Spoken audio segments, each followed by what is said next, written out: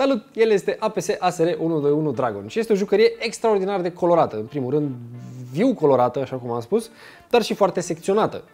Reprezintă clasa ASR a jucăriilor oferite de APS și este menită să fure cam toate privirile posibile și imposibile. De altfel și eu mă chinui să nu mă uit la ea în continuu și să mă uit la dumneavoastră. Trecând peste acest aspect, are o lungime de 875 de mm și este relativ ușoară, deoarece este făcută din materiale preponderent aliaje din aluminiu. Cu toate că aceste striații există, greutatea nu este de neglijat față de alte jucării asemănătoare. Nu vă aștepta să fie extraordinar de ușoară datorită acestor uh, detalii de pe, de pe jucărie. Așa cum a fost învățați în partea din față, există un flash hider din oțel cu un filet cu sens invers, puțin mai în spate, există sistemul de șine prevăzut cu key mode și cu cele trei șine incorporate. În toată partea superioară există o șină extraordinar de mare care ne va putea permite să montăm o groază de accesorii. În ceea ce privește corpul, în afară de faptul că el este un M4 standard, ca și controle cel puțin, ă, se cam vede prin el, dar nu este un lucru rău. Selectorul este strict pe partea stângă, de asemenea ă, este și ping-pong pedalul fictiv, iar butonul pentru liberarea încărcătorului este pe partea dreaptă.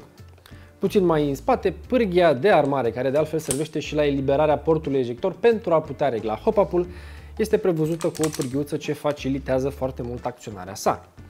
Patul este din metal, acoperit cu o ușoară secțiune din burete moale, ce va permite un confort puțin mai mare pentru bărbie. Atenție, el este fix, este prevăzut cu o talpă de asemenea din metal, menită să fie capacul spațiului pentru acumulator. Da, spațiul pentru acumulator este în interiorul patului este destul de lung și permite un acumulator relativ mare.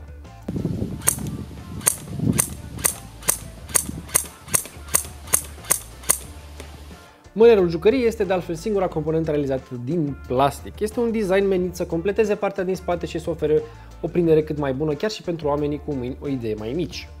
Pentru asigurarea jucăriei cu ajutorul unei curele putem folosi unul dintre cele două puncte pentru detașare rapidă, pentru curea cu detașare rapidă. Există unul în spatele mânerului deasupra, iar în partea din față, pe sistemul de șine, de asemenea un uh, punct cu detașare rapidă. Deci, în general, probabil că îl veți folosi cu sistem de prindere într-un singur punct, ceea ce e un lucru suficient pentru această jucărie. Jucăria este prevăzută cu un sistem de ochire rudimentar, de altfel este poziționat la 45 de grade, ceea ce va permite mai mult ca sigur folosirea unui dispozitiv clasic fără prea multe inconveniente. Cu toate că, dacă stăm puțin să ne gândim, faptul că va trebui să întoarcem jucăria la 45 de grade va însemna mai mult ca sigur că peste o anumită distanță bila va pleca la 45 de grade, dacă nu chiar 90. Dar e un lucru bun că există în pachet și ne vor servi atunci când dispozitivul super avansat nu va mai funcționa. În ceea ce privește internele jucării, putem spune că, așa cum am fost învățați de către domnii de la APS, există o țeavă de precizie de 400 de mm, 604 are în diametru, camera de hop-up din metal, iar puterea jucăriei este destul de mare, în jur de 128-129 de metri pe secundă măsurați cu 0,20.